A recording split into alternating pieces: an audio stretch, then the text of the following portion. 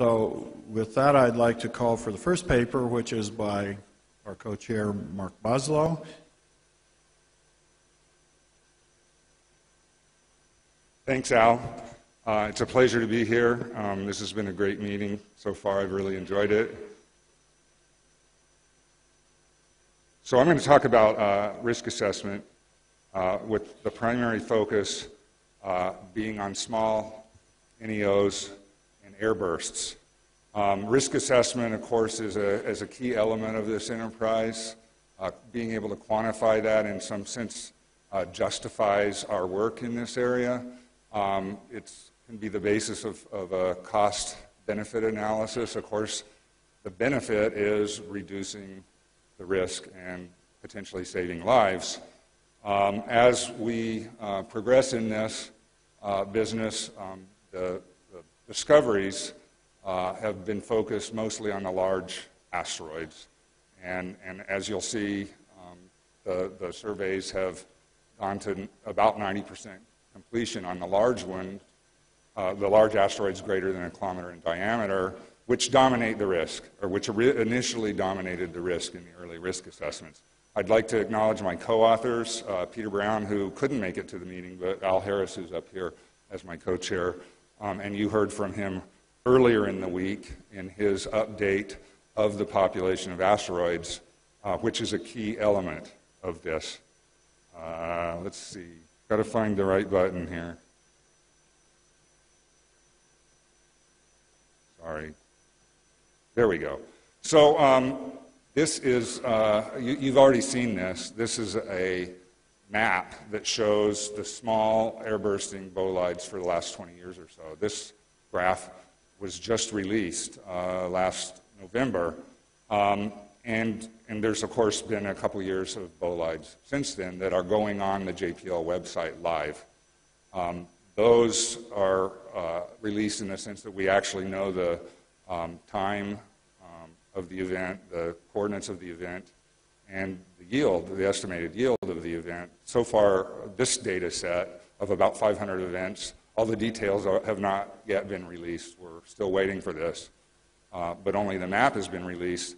Uh, but one of the things uh, we are doing uh, is plotting these in a way that's uh, in, in, in some way more intuitive for people to understand the relative size of these if you look at this uh, map, here's the, here's the key here in energy in gigajoules, um, but it's on a logarithmic scale, so you really can't tell by looking at this how much bigger Chelyabinsk is compared to the other ones. In fact, it's bigger than all the other ones put together. I'm not sure exactly how, by how much.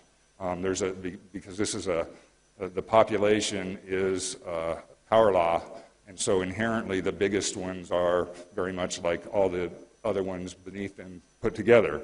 Um, we have, uh, I, have worked with uh, Brad Carvey, who is our um, visualization guru, and he has put together this uh, video um, that we're attempting now to, to, to, show relative size, and we're continuing to work on this. And we have got it set up so that when everything else is released, we can put in the full, um, the full uh, 20 or so years. Um, but to try to make them look um, uh, properly big relative to one another. And we also have a soundtrack that goes with this. Um, so I want to say a few words about how we do probabilistic risk assessment, and this really cuts across fields, um, the same kind of techniques. Um, this was first done in this field by um, Clark Chapman and, and Dave Morrison. They published a paper in the early 1990s, and this is how they did it. This is I actually took this from the um, uh, Intergovernmental Panel on Climate Change, it works the same way in that business. Um, so you've got some kind of probability uh, density function. This is the black curve here. Um, for climate change, that's climate sensitivity. How warm will the Earth get for a given amount of uh, CO2 increase? Um, for this, I can plot something that looks very much the same by posing the question what is the biggest uh, asteroid that's expected to hit the Earth in some interval of time, say one decade. Um, that's peaked because the small ones have, a, have some that are bigger, and the big ones don't have any that are bigger, so there's a long tail. So it's, it's, it's possible, but very unlikely, that there's something out here on the long tail that's very big that hits in an interval of time. Now, um, there's also a consequence curve. That's the one in red. Um, uh, Chapman and Morrison assumed that there would be some global catastrophe threshold.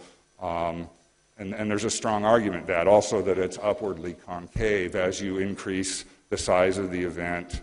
Um, there are there are it's not just a, a physical effects that causes the cost in terms of death or in terms of dollars. There's some kind of amplifying effect. But then there's a big jump when you get some kind of uh, cascading effect, either um, due to a nuclear winter type effect or a collapse of agriculture, collapse of uh, ecosystems, collapse of civilization. We don't know where that is. So we have to make a lot of assumptions in this red curve. But then you multiply the red curve by the black curve, or by a probability. Really, the, uh, if you do probability, it continues on up to the left, except those ones that continue on up to the left don't have any consequence. So, really, we're focused on this tail. And you can see that when you multiply those and integrate under the curve, you're dominated by the big ones. You're dominated by what's above that threshold. Um, so, I'm going to show, towards the end of the talk, I'm going to show just the right hand part of that and I'm going to show it on a, on a different scale, but I wanted to get you oriented to, so that everyone understands how, how I've done this. Uh, now, we've seen this uh, plot. I don't think I have to go into detail about what it is. Um, this is uh, Al Harris's previous population, um, and, and, and a power law fit through that. Um, power law going all the way from the, the object that wiped out the dinosaurs down here to the bolides based on the, um, the, the, graph, the, the, map I showed you in my very first slide. Peter Brown uh, had done a study, and, and um, up here um, has a point with, with some pretty big error bars, and this was with only da- eight years of data. This was published in 2002. Um, and, and the blue dash curve is basically just a linear extrapolation in this log log plane. But the uh, optical observations published by Harris um, several years ago was significantly below that, uh, as much as an order of magnitude below that. Remember, this is a power law plot. So if you ask, um, you know, back, back, when this was published, when we thought uh, um, Tunguska was a 15 megaton event, that made it a, a thousand year event, possibly, if, if we just put it right on the power law distribution. But if we used Al's distribution, it would have made it a 10,000 year event or so. Very, very rare event. Um, I uh, uh, downgraded the size to 5 megatons. That put it back at a 100, uh, at a th- 1 in a 1,000 year event. Um, but if, if it were on the power law, it would be a 1 in 300 year event. It's still an outlier, but not a ridiculous outlier. Um, if you plot it as a 1 in a 100 year event, since it was observed in approximately the last 100 years, you can see where the outlier is. So um, Peter Brown and others published a paper after Chelyabinsk and made a few points, and that is that because Chelyabinsk um, happened uh, combined with Tunguska and another event in 1963, it appeared that the observations of bolides suggest a much higher flux than what the optical surveys suggested. So we've revisited that. Al has revisited this, and he gave his presentation earlier in the week and described in detail um, why he has increased his, his flux rate. And here's, here's the paper, here's the figure from our uh, 2013 Chelyabinsk paper. And here are the three, wish I could move this cursor better. Okay, here are the three outliers. This is Chelyabinsk. This is the um, 1963 observation from infrasound, and this is Tunguska with big error bars that account for the fact that we really don't know the yield that well. Um, here they are on that expanded scale. Um, what we have realized now is that the estimate of Chelyabinsk published by, uh, the, the frequency estimate published by Brown of Chelyabinsk and the frequency estimate published by Silber for the, what we call the Marian Island 1963 event are grossly high and too high. And that is because they assumed an observation window that is smaller than is realistic for these single big events. They would have been observed even if the observation window for infrasound uh, you know, ha- had been even shorter. They would have been observed uh, otherwise, and Chelyabinsk likewise, if it had ha- happened uh, in, over a period of time of more than 50 years, it, almost anywhere on the planet, it would have been observed, not just in that 20 year uh, observation window of bolides. Uh, so now we think Tunguska, if we put it down, these, these blue circles are Al's uh, latest estimate, and so if we, if we drop that down, uh, point to where it would plot if it had occurred at the, at the actual frequency, um, it would be a 500 year event. It's still an outlier, but it's no longer a ridiculous outlier. So finally, this is that little portion of the plot um, that I drew in the very beginning. This is that probability. Um, this is the green curve is the consequence curve, and the cyan curve is the, uh, is the product of that. Take the area under the curve. Originally, before any discoveries were made, we had about 1,400, uh, 1,400 fatalities per year. I carry a lot of extra digits just for intercomparison. Those aren't actually significant. Um, this is based on the current survey results, current discovery. Um, it's dropped by an order of magnitude, and once the Georgie Brown survey is complete, it will drop down to 36 a year, dominated down here uh, by airbursts. And so I will let you read the conclusions because, as co chair, I don't want to go over my time limit. I want to set a good example. Thank you.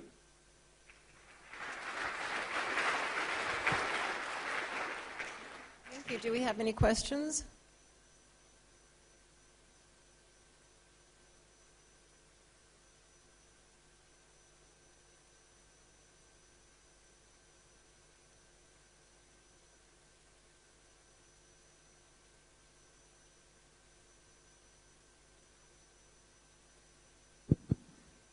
Yeah, the, uh, the Brown et al. paper had a probability, a cumulative probability of impact for the Chelyabinsk size impactors of 0.1 per year, approximately.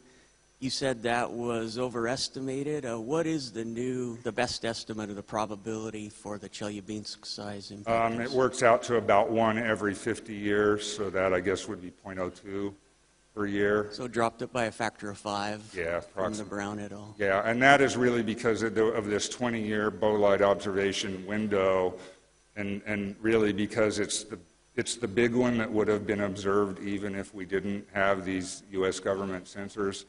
It most likely would have been observed, and so really you, you can't limit it to that window when you do that estimate for these large, low, you know, statistically uh, small, you know, small st- numbers. Statistics of small numbers, you know, are on the edge of that, and so it's really not an appropriate way to handle the statistics. Because uh, uh, Peter's estimate came down and my population estimate came up until they're virtually perfect agreement, and that's why we're both co-authors, you see. yes, we're in complete agreement. Oh, yeah. Finally, something I can understand, emergency management. uh, from, a, a from a risk standpoint, is the, is the, uh, is the consequence curve uh, completely tied to deaths alone? Are they indirect deaths alone? And was there any consideration of cascading uh, impacts from the loss of se- uh, infrastructure sectors? I, I, I base the consequence curve on what Chapman and Morrison did, and, and so, you know, it, it is very heuristic. I mean, they assumed that above this global catastrophe threshold, as I recall, a quarter of the Earth's population would die by some effect, but it's, it's, it's you know, we don't, have, we don't have any experiment, experiments. We can't really validate that, but it's a reasonable um, estimate, I think. But it, it's good for intercomparison. It's probably not good for absolute numbers. It's good for estimates, and it's good for intercomparison.